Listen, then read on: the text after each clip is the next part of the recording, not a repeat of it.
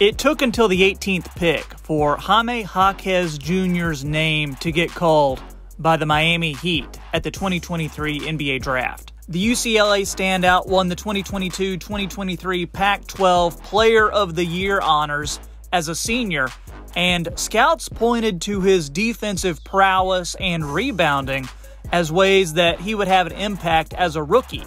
All that despite being taken later in the draft. Anything else would have just been gravy.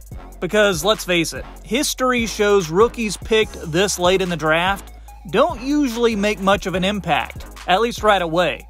But Jaquez, aka Juan Wick, has certainly outplayed those expectations and has quickly become a fan favorite in South Beach.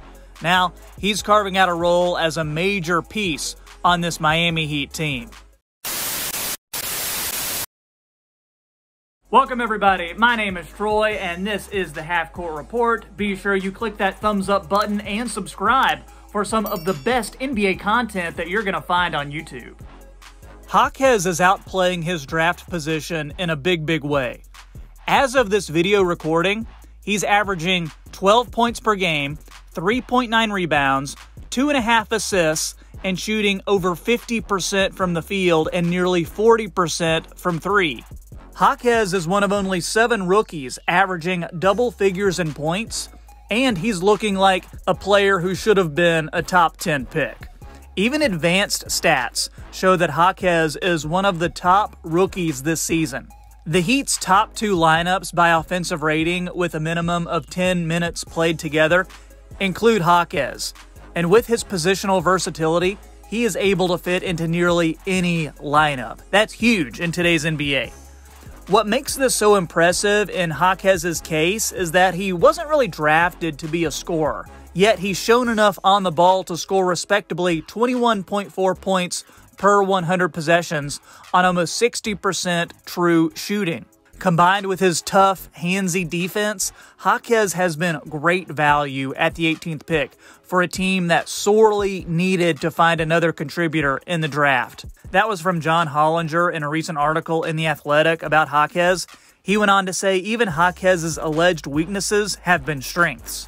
He wasn't regarded as a shooter coming out of college, but he's made nearly 40% from three and over 80% from the line. Additionally, he has great footwork on the block and in the basket area and is able to score effectively from floater range. And that's one of the toughest skills to pick up at the NBA level.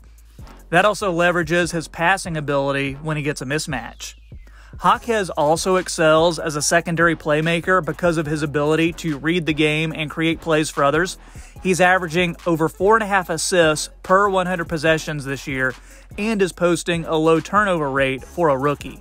If there's a question about Jaquez, it's how much he can scale up offensively from here. He's still in a relatively low usage role and doesn't have the burst to generate shots easily. Instead, he's leaning heavily on strength and craft to get to his spots. Nonetheless, the 6'6 wing doesn't need to go crazy on offense to have value because he has held up so well on that defensive end.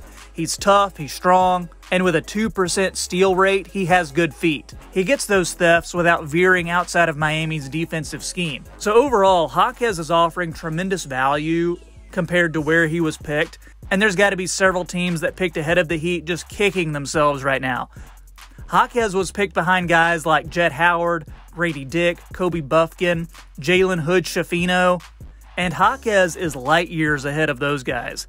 I think the teams who picked those players may be having some regrets.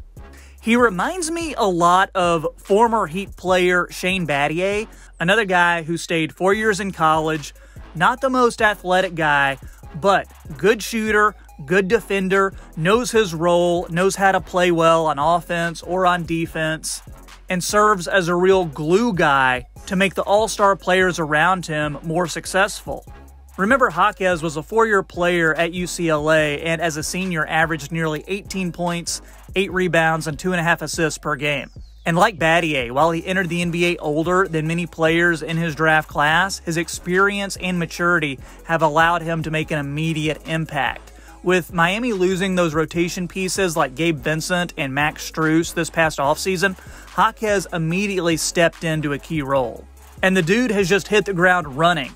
He's earned rave reviews from teammates and NBA observers alike in his brief professional career. Jimmy Butler, his teammate on the Heat, spoke highly of Jaquez after a recent victory against the Indiana Pacers when Jaquez came off the bench to contribute 24 points and 5 rebounds. Additionally, ESPN analyst and former NBA player JJ Redick said that Jaquez has been the best rookie in the league outside of Victor Wembanyama of the Spurs and Chet Holmgren of the Thunder. I am loving Jaquez's game, and I'm eager to see what the rest of the season holds.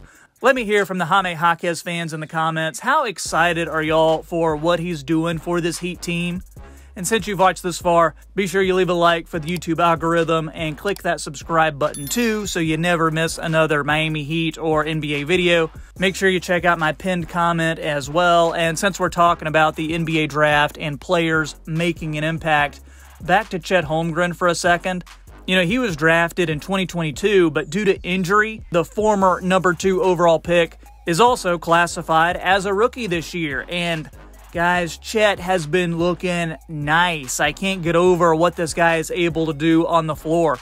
I had to do a whole video on him and how his game is getting him all star buzz in his first year playing in the NBA. You got to check that out. Let me know what you think. I'll catch you next time on the Half Court Report. Have a great day.